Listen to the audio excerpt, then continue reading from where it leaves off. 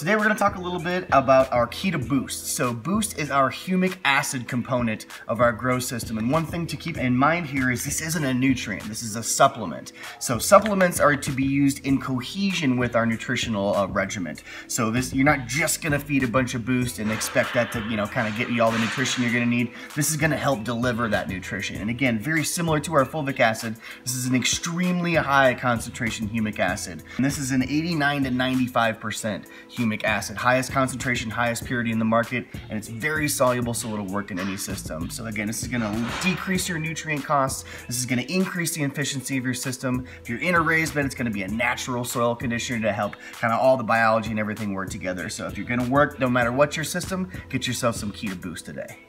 Check us out at keytolifesupply.com.